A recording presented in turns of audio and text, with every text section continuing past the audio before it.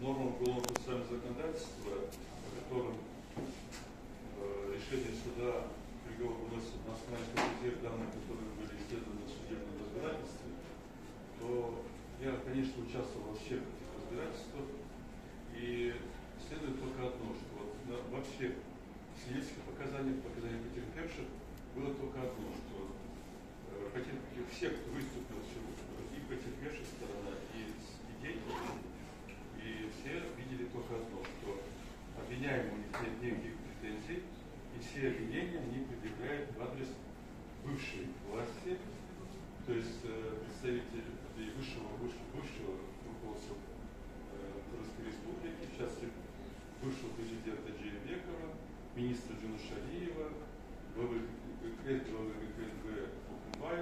и других должностных лиц, которые учинили расстрел демонстрантов и нанесение э, вреда здоровью, тяжкого, менее тяжкого вреда здоровья очень многим людям. В том числе 1020 сотрудников милиции и военнослужащих пострадало.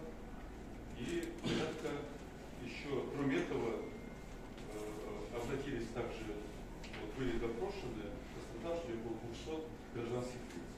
Никаких других э, обвинений в этом судебном разбирательстве исследования нет. А выступление в данном случае прокурора в трениях выглядит все-таки, я приношу извинения, но это все-таки это даже, даже не подтасовка, уважаемые это просто фальсификация э, данных, да, полученных в ходе судебного разбирательства. Фальсификация. Скажем так, вот, если взять обвинение в мой адрес, что я незаконно освободился из э, СИЗО-1. Но в материалах дела действительно есть решение суда, судебный акт, который я освободился. И я на самом деле не выходил из СИЗО-1 до тех пор, пока не вышел, не, не принесли судебный акт, и когда администрация СИЗО сама не вывела меня из помещения, из камеры, а потом из, из расположения СИЗО. Я не допускал никакого, что никакое незаконное освобождение. Что я незаконно освободился. Если бы по-другому было сказано даже, что кто-то меня вдруг, если вдруг незаконно освободил, если, то, то почему тогда нет решений органов и действий, правоохранительных действий в отношении тех, кто это незаконно сделал. Говорит, незаконно я освободился, но нет. Теперь дальше, что я вступил в преступный сговор. Ни одного свидетельства о том, что я с кем-то вступил в какой-то сговор, в ходе судебного разбирательства не прозвучало. О том, что я жаждал какой-то власти, не прозвучало в ходе судебного разбирательства. Этого, кстати, нет ни в одном томе э, уголовного дела, нет ни в одном томе никаких показаний, ни в показаниях свидетелей, ни в оценках экспертов. Нет ни одного, что я к чему-то стремился.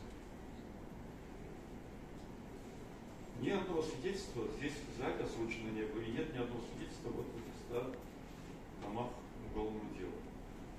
Для тех, кто первый раз участвует в судебном разбирательстве, я скажу, что 100 томов судебного разбирательства, где-то 70 томов это акты судебной медицинской экспертизы по тем потерпевшим, которые пострадали в этой событии.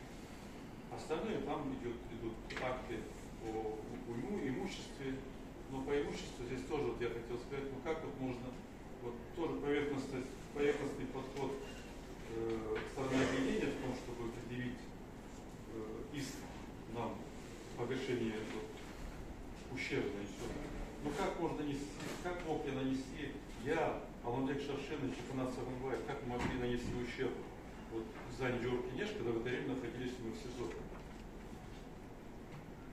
Вы уж тогда будьте добры, уважаемые страноведения, как вы дифференцируете там, какой ущерб нанесен 9 октября, в чем вы нас обвиняете, Сатамбаев и Савынбаев, и тот ущерб, который был нанесен 5-6 октября, в котором виноваты, опять все-таки по мнению стороны, вот, по всех потерпевших, виноваты Сором Байджинбеков, Хашабин Шалиев, Узбеков Кумбаев и другие должностные лица, которые должны были провести правильно провести выборы и не допустить массу беспорядков.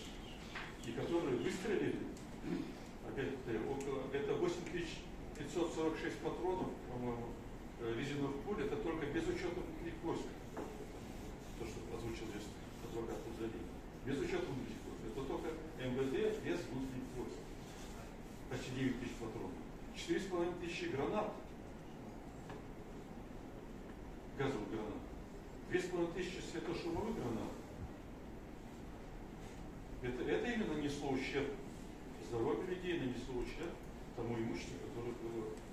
Я, это, это именно воспарило людей, конечно. Поэтому я считаю, что здесь, я вот, честно говоря, я вижу, мы за эти три года уже судебных разбирательств, уже здесь друг друга-то знаем, и сторону объединения тоже мы все. Мы видим, что и прокурор зачитывает этот э, нельзя абсурд, ему самому неудобно это видно же про, про человека, что он ему трудно, что здесь трудно дается. Но все-таки надо быть до профессионалом, мне кажется.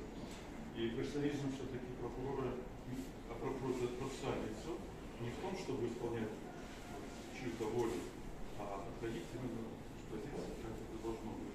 Теперь к вопросу вот, э, попыток захвата власти. Ну, смотрите, если мы хотели власти, то 6 октября, наверное, мы пошли бы на площадь, когда нас освободили. Но ни один из нас не пошел на площадь, кого освободили из СИЗО. Ни Атамбаев, Атамбаев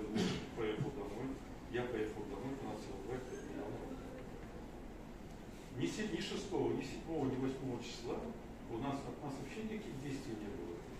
9 числа, когда было видно, что все-таки ситуация, она хаос, хаос, а хочу подтверждать это слова замсекретаря Совета Безопасности, э, вот, Рулей Кашалдариев, когда он уже наделял, прямо насильно наделял полномочий курсам Светарства Славного.